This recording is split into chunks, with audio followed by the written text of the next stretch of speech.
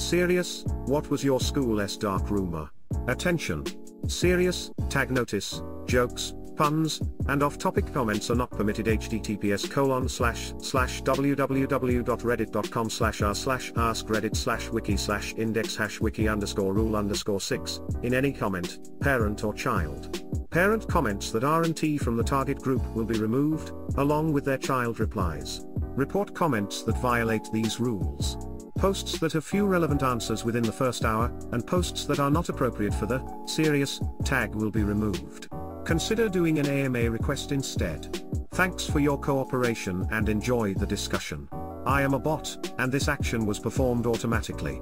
Please, contact the moderators of this subreddit slash message slash compose slash question mark to equals slash r slash ask reddit, if you have any questions or concerns.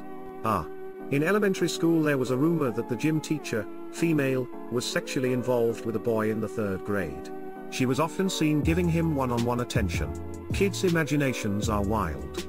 Turns out the kid was from a broken home and in the foster care system. Eventually that teacher adopted him. 7th grade in Catholic school. There was a rumor that the principal, a priest was in love with one of the teachers who was a nun. Turned out to be true. A couple of months later they both left the church and ran off together. That there was an undercover cop posing as a student to break up a drug ring. Basically, it was 21 Jump Street without the comedy. I already know 100% of these are going to be related to pedophilia Lamau.